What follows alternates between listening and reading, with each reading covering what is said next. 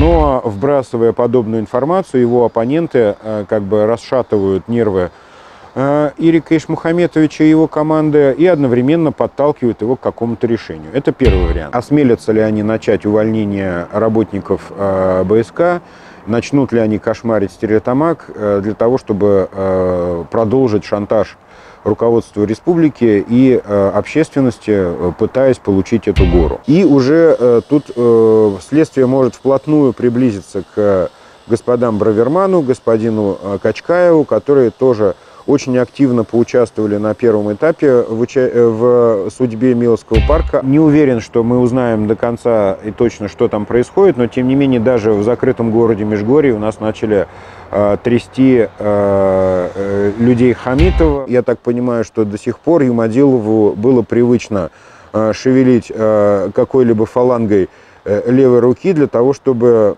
Э, суд принял нужное решение, и вот внезапный облом. На какие эталоны ориентируется Рустем Закиевич, я не знаю. Э, это, конечно, было бы бредом, если бы э, не предполагать о том, что господин Хамитов, окончательно приняв решение участвовать в выборах 2019 года, было бы забавно, если бы Дима Чувилин прошел в госсобрании, потому что это был бы достаточно яркий и такой заметный Э, депутат госсобрания, который имеет собственную точку зрения, пускай и э, весьма необычную.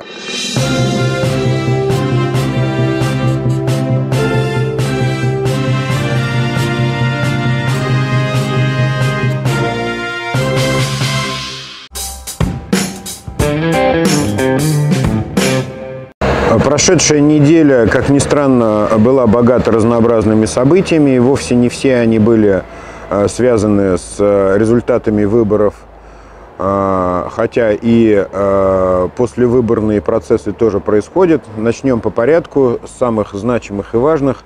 На мой взгляд, самым сенсационным событием было то, что связано с арестом прокурора Советского района города Уфы господином Гарифулиным. Об этом уже очень много писала пресса. Э, разобрали порядок событий, действий и так далее.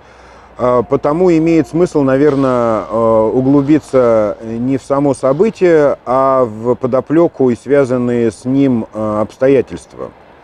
Я полагаю, что очень важным обстоятельством и очень важным критерием которые нужно рассматривать э, по этому э, событию, является то, что в эту взятку, в этот криминальный эпизод вовлечены э, столь значимые фигуры в городе, как господин Рамазанов, судя по всему, господин Старов, а, а также вся эта история происходила в интересах господина Комлева, застройщика многострадального Миловского парка.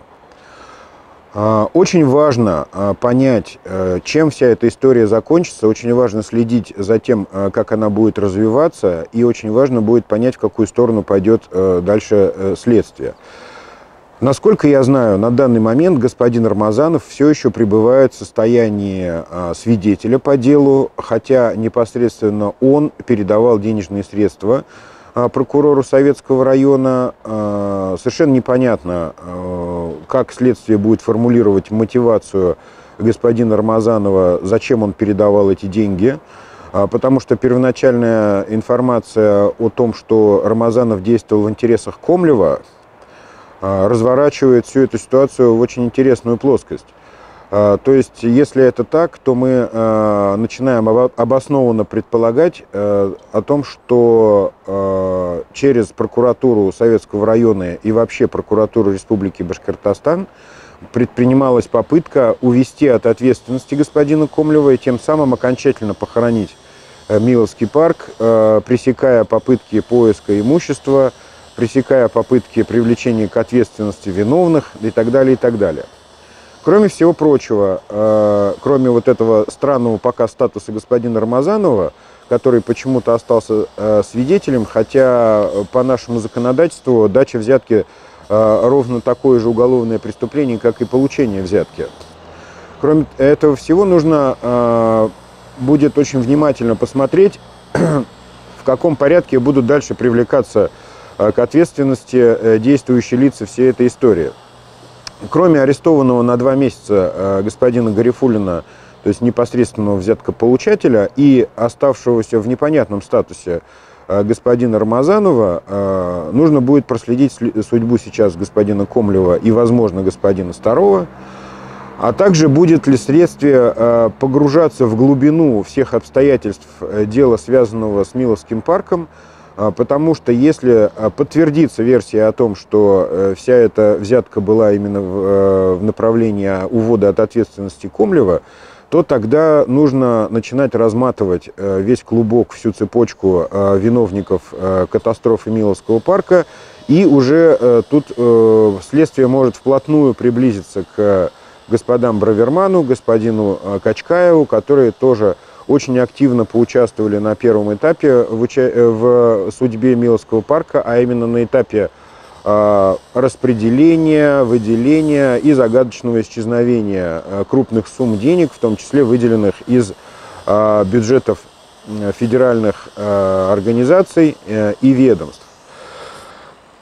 Также хотелось бы отметить, что на первом этапе странным образом скрывалась причастность господина Рамазанова к этой всей истории – но э, фото-видеоматериалы, которые были э, получены на первом этапе всей этой истории, не дают э, возможности усомниться в его причастности и в том, что он э, активно сотрудничал со следствием, а именно вот эти два кусочка, два стоп-кадра из э, двух видеороликов э, таким достаточно комическим образом э, показывают нам э, стопроцентную идентификацию Э, господина Рамазанова в кадре. Несмотря на то, что лицо э, человека с ярко-желтым браслетом часов на кадрах оперативной съемки закрыто, мы видим э, на кадрах официального ролика, размещенного на ресурсе Горсовета, именно те же самые желтенькие часы господина Рамазанова. Соответственно, мы вот проводим идентификацию депутата Горсовета по желтому спортивному браслету. Но это такая мелочь, вишенка на торте. Э, это я к тому, что э, усомниться в том, что господин Рамазанов э, мгновенно сдал всю конструкцию и в последний момент сотрудничал с оперативными работниками ФСБ и Следственного комитета, не представляется возможным. Вообще все эти криминальные происшествия такого рода с участием подобных людей всегда, конечно, э, сопровождаются мгновенным э, предательством друг друга. Как только одного из них хватают за какое-то теплое мягкое место, они тут же сдают всех своих партнеров, подельников и заказчиков. Я думаю, что господин Рамазанов поступил именно таким образом. Ну, посмотрим, насколько следствие смогло расколоть его и насколько дальше оно сможет расколоть и Комлева, и Старова, и, возможно, Бравермана с Качкаевым. А как метко а, охарактеризовала эту неделю а, Даша Кучеренко, эта неделя какая-то судная неделя.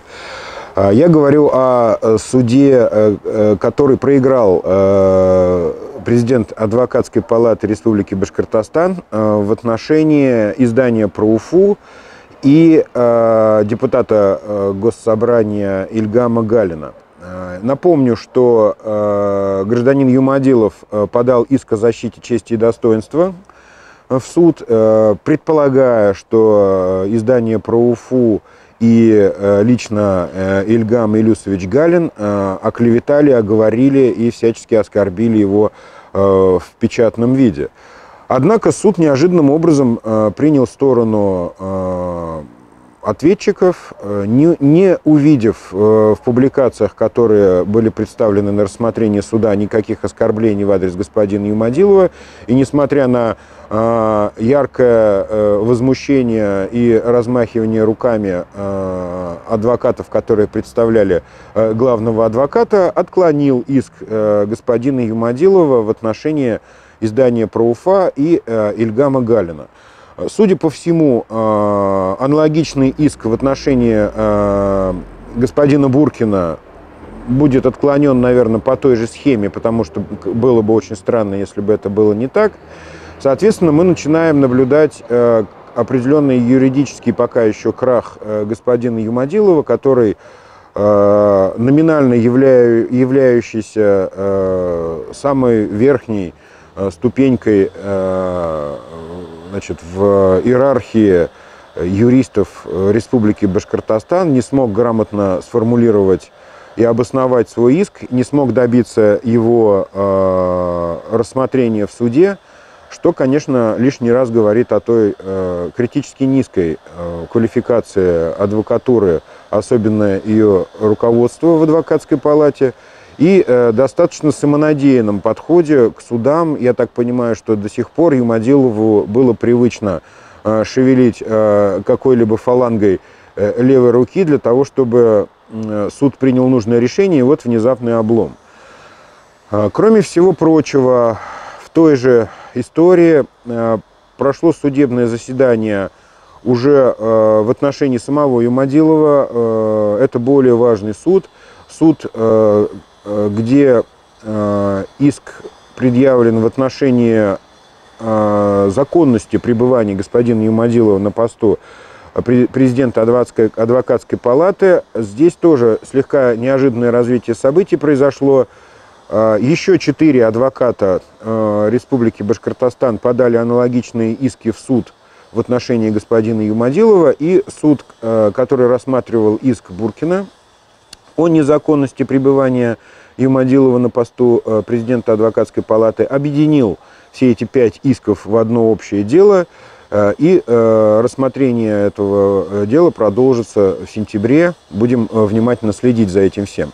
Подытоживая вот эту судную неделю, хотелось бы сказать, что отрадно, что наконец-то суд начал рассматривать объективно все вещи, которые связаны с тем жутким бардаком, который творится в нашей адвокатской палате, э, суд начал принимать во внимание аргументы, которые ну, уже практически невозможно было не видеть. Э, то, что касается оформления документов в Министерстве юстиции, которые были совершены с колоссальным количеством нарушений и так далее. Я надеюсь, что э, в конце концов, все-таки, несмотря на всю аффилированность, суд вынесет э, правильное решение в отношении господина Юмадилова, и это будет началом конца вот этой э, совершенно э, криминальной э, структуры, которая захватила власть в управле... и власти управления адвокатской палаты Республики Башкортостан. Невозможно обойти стороной э, тему БСК и разработки э, Таратау. Э, на этой неделе мы были свидетелями появления в эфире «Эхо Москвы» генерального директора БСК господина Аньендока. Честно говоря, я с любопытством выслушал его речи, но, к сожалению, ничего нового он нам не сказал. А, хуже того, он а, в достаточно примитивной форме подтвердил а, позицию БСК, позицию вымогателя и шантажиста. Господин Аньендок э, с присущей азиатскому менталитету э, э, холодностью и цинизмом заявил о том, что вариантов, кроме как разрабатывать Таратау, у республики нет. Любопытно, что господин Ангендок окончательно нивелировал позицию госпожи Бортовой в иерархии БСК, заявив, что она ничего не понимает в конструкции э, предприятия и вообще нечего ее слушать, а я тут генеральный директор. А, кроме того, 68-летний заслуженный химик э, продемонстрировал достаточно циничное безразличие к той территории, на которой ему приходится сейчас работать, а именно он э, дал понять, что э, абсолютно не в курсе э, того, э, что такое Башкирия, э, заявив, что он не знал о том, что река Белая и Акидель это одно и то же. Но это, конечно, такая мелочь, она достаточно э, симптоматичная, но э, мы э, увидели человека, который не то чтобы пытается решить проблему, а который Э, ехидно улыбаясь, э, сообщил нам, что вариантов нет и вопрос уже практически решен в его представлении. Ну, посмотрим. Конечно, это был, наверное, последний контакт э, широкой публики с э, администрацией э, БСК, потому что, вероятнее всего, далее уже э, ни аргументов, ни людей у них не осталось, и э, конфликт перейдет в подковерную сферу. Я думаю, что в ближайшие несколько недель мы не увидим никого из них в публичном пространстве, потому что аргументы они свои нам уже все сообщили по очереди. Аргументы эти достаточно примитивные и понятные. Это шантаж, а, вымогательство. Посмотрим, смогут ли они перейти к активным действиям, осмелятся ли они начать увольнение работников а, БСК, начнут ли они кошмарить стереотамак э, для того, чтобы э, продолжить шантаж руководству республики и э, общественности, пытаясь получить эту гору. Однако я в речах господина Аньендока не обнаружил ничего нового в плане там, юридической, законной аргументации. Он достаточно примитивно манипулировал юридическими понятиями, ссылаясь на какие-то несуществующие прецеденты, ну и так далее, и так далее. В общем, э, будем внимательно наблюдать развитие событий, э, посмотрим, насколько э, БСК сможет изменить ситуацию. На данный момент она осталась прежней, той же примитивной, в общем-то, конструкцией, пришедшей в состояние ступора. Возможно, после выборов начнутся какие-то другие события. Ну, будем посмотреть.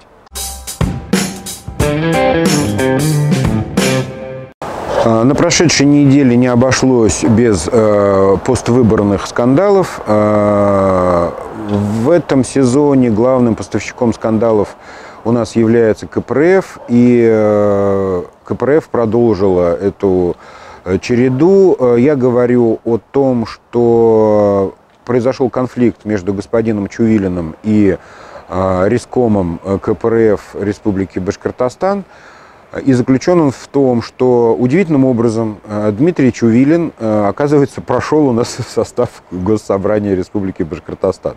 Те, кто знают, кто такой Дима Чувилин, э, понимают всю комичность и сюрреалистичность этой ситуации, чтобы господин Чувилин, известный а, активист Левого фронта и заводила на всевозможных заказных митингах Нефтекамске и Уфе, вдруг попадал э, в законодательное собрание Республики Башкортостан. Но, тем не менее, формально Дмитрий Чувилин проходит в состав э, Госсобрания и Риском КПРФ, срочно собрав э, заседание, там, я не знаю, как у них это называется, там, райком или там какой-то, значит, в общем, высший орган Э, республиканского отделения. Э, решением этого э, органа в количестве шести человек приняли они решение о том, что Дмитрий Чувилин должен передать свой мандат какому-то хорошо обеспеченному менеджеру КПД. И я так понимаю, Дима Чувилин не до конца согласен с подобным решением. В общем, возникло некое препирательство. Сейчас Риском бегает между ЦИКом РБ Э, и э, консультируется значит, между ЦИКом РБ и Белым домом, консультируется, как это сделать все законно. Закон весьма туманно характеризует эту ситуацию и не до конца подтверждает возможность э, руководящих органов партии Э, исключать э, из списка прошедших э, депутатов кого-то персонально своим решением. В общем, я думаю, что на следующей неделе мы увидим окончательную, значит, финал окончательной этой всей истории.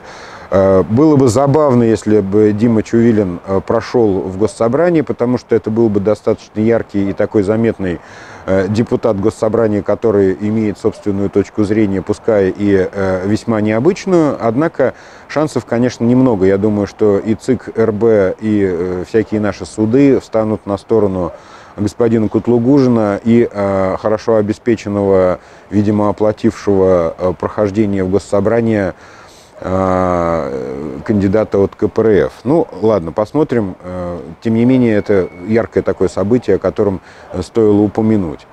А, кроме всего прочего, надо констатировать то, что скандально известный застройщик а, жилого комплекса «Цветы Башкирии» господин Абызов, судя по всему, не проходит в госсобрание к вящей радости обманутых дольщиков этого жилого комплекса.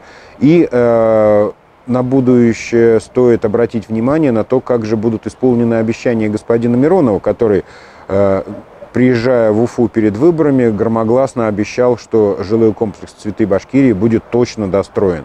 Я думаю, что дольщикам этого жилого комплекса теперь имеет смысл обращаться непосредственно к господину Миронову с требованием исполнить его обещание.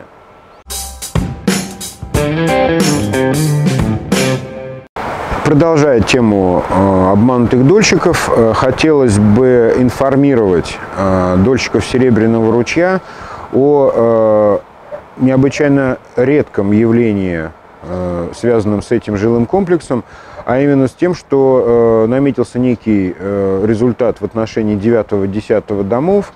На прошедшей неделе застройщик опубликовал пресс-релиз, в котором сообщает о том, что получены а, все разрешительные документы от Уфа водоканала на 9 и 10 дома а, в Серебряном ручье. Это не может не радовать. Как я уже и говорил и предсказывал то, что 7, 9 и 10 дома, по всей видимости, конечно, будут сданы в обозримом будущем. Я не уверен, что до конца этого года, но в ближайшие там 3, 5, 4, 6, я не знаю, сколько месяцев, наверное, эпопея с этими домами завершится. А, как мы все помним, 19 а, апреля а, господин Хамитов громогласно объявил план решения проблемы обманутых дольщиков. Мы все помним, что все это было сделано в панике перед выборами, когда из Москвы прилетело тут указание немедленно утихомирить эту гигантскую проблему, которая расползается по всей республике Башкортостан. И Хамитов тогда в панике наобещал с три короба, а именно он обещал, что в течение 2018 года будут сданы 37 э, э, проблемных домов. Однако мы э, понимаем, что это обещание точно выполнено не будет, и уже начинаем считать на пальцах. Сданы два дома в Миловском парке, которые и без того были готовы. Вероятнее всего сдастся седьмой дом в Серебряном ручье. Может быть, сдадутся дома 9-10 в 2018 году или в начале 2019 года. И вот, собственно, все. А, если еще где-то посмотреть какие-то объекты, то, возможно, там, ну, 5 или 6 домов в общей сложности по республике наберется из 37 обещанных. Но, тем не менее, порадуемся за а, дольщиков 9-10 домов а, в Серебряном ручье. Процесс по их сдаче все-таки худо-бедно идет. На фоне участившихся арестов э, прокуроров, э, чиновников мэрии э, и прочих проворовавшихся граждан впору уже заводить в наших выпусках рубрику «Еженедельник арестов». В рамках этой рубрики можно отметить, что на прошлой неделе прошли обыски и задержания в городе Межгорье – это закрытая территория э, в непосредственной близости от э, Белорецка. Э, традиционно об этом населенном пункте мало известно и э, никаких новостей не происходит. Но э, вот в этот раз э, силами Федеральной службы безопасности и, насколько я понимаю, Следственного комитета были произведены оперативные действия в отношении мэра этого города. И еще одного чиновника э, из сферы водоотведения. Э, судя по всему, обнаружены какие-то серьезные нарушения, злоупотребления. Э, суммы и сущность этих злоупотреблений пока не опубличены. Не уверен, что мы узнаем до конца и точно, что там происходит, но тем не менее даже в закрытом городе Межгорье у нас начали трясти э, э, людей Хамитова. Вообще, конечно, количество э, чиновников, лично назначенных самим Хамитовым, которые подверглись э, всевозможным преследованиям со стороны э, правоохранительных органов, уже зашкаливает. Это превращается в рутину и наводит на мысли о совершенно чудовищном состоянии Э, кадровой политики и подходов э, к назначению со стороны Хамитова, к сожалению, пока это не вызывает никаких э, выводов и рассуждений где-то там, ну, не знаю, в федеральном центре или еще где-то. Ну, в общем, продолжаем наблюдать аресты, обыски, выемки и прочие безобразные события в отношении чиновников Республики Башкортостан. На фоне э, закономерной э, тишины в теме выборов, ну, выборы закончились, и как бы вроде говорить э, стало не о чем э, на эту тему, э, внезапно в этой тишине э, появился Рустем Хамитов, который смело похвалил сам себя.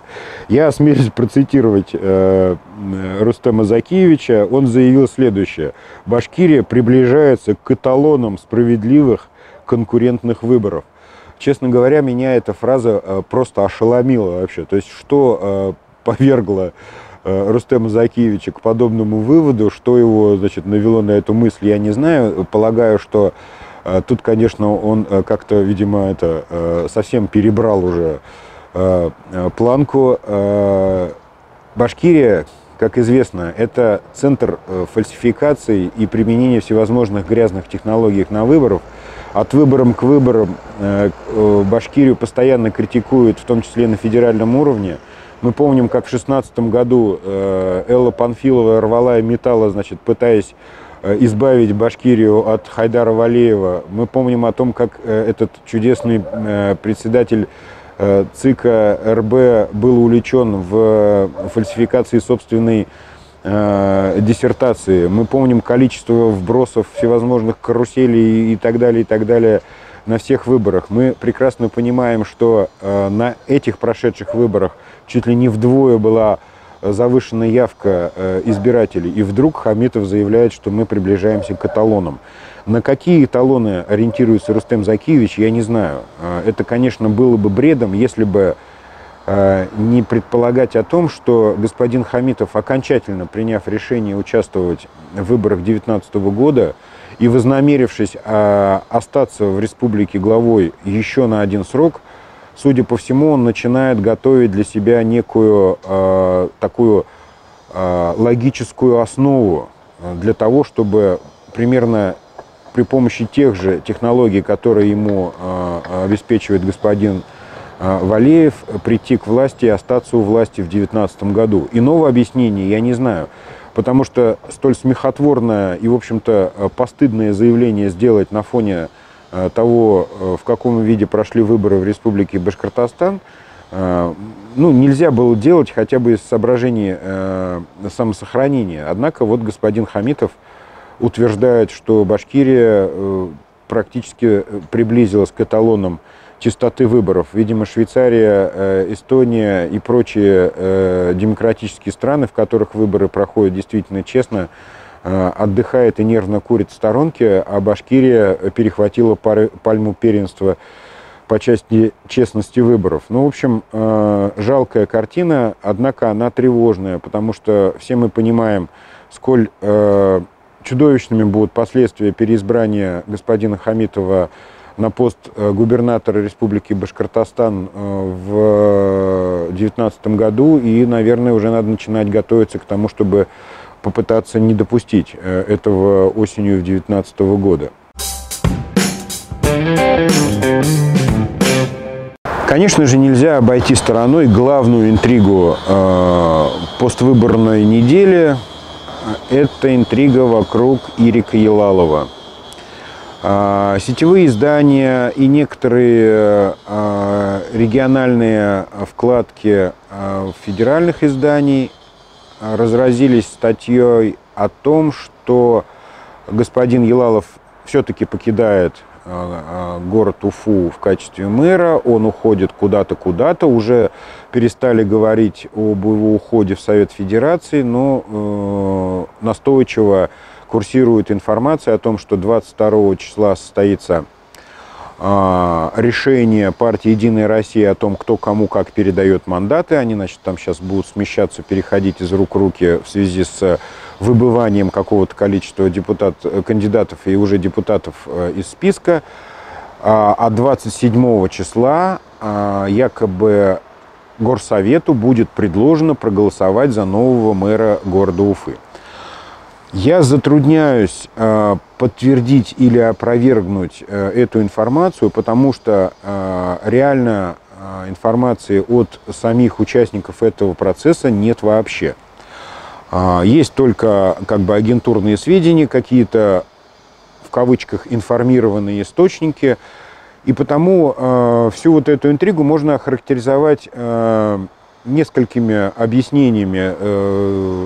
В частности, можно, во-первых, это, конечно, расценивать как некую информационную атаку на Ирика Елалова, который не собирается покидать пост мэра, но, вбрасывая подобную информацию, его оппоненты как бы расшатывают нервы Э, Ирика Ишмухаметовича и его команды и одновременно подталкивают его к какому-то решению. Это первый вариант. Второй вариант, что да, все-таки э, Рустему Хамитову удалось убедить Ирика Елалова в том, что ему нужно покинуть Республику Башкортостан. Ирик э, Елалов действительно стал э, реальным конкурентом для Рустема Хамитова на политическом поле. В последнее время Ирик Елалов выглядит более убедительно вообще, чем господин Хамитов, тем самым нивелируя и без того э, слабенькую позицию Рустема Закиевича на э, политической арене Республики Башкортостан. Ну и третий вариант – это некие интриги со стороны э, оппонентов и конкурентов Ирика Илалова на пост мэра. Вот тут надо бы, конечно, задуматься, а кто на самом деле мог бы сейчас претендовать на пост мэра – а, э, из числа э, городских и республиканских элит. Называлась фамилия Трухана, однако после его провала а, при утверждении, попытке утверждения его на пост руководителя администрации а, главы региона, я осмелюсь предположить, что есть какой-то эпизод в его биографии, который очень сильно не устраивает федералов – а именно ПФО и администрацию президента Путина, что-то такое Трухан натворил то ли в Крыму, то ли еще где-то, но, в общем, его не согласовали. И не факт, что его согласуют на пост мэра э, Уфы.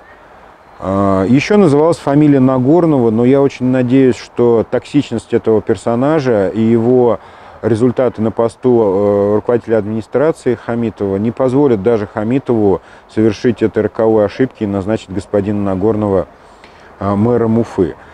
А, более, э, скажем, значимых фигур, кроме этих двоих или ну, двух этих версий, я пока не слышал. Конечно, обсуждалась кандидатура господина Кельсинбаева, но, на мой взгляд, пока э, господин Кельсинбаев не дотягивает до э, масштабов руководства миллионным городом. Ну, хотя в нашей Э, политической среде случаются такие необычайные э, ходы, что это тоже э, может быть реальным. Хотя шансов, конечно, Кельсинбаева я даю довольно мало.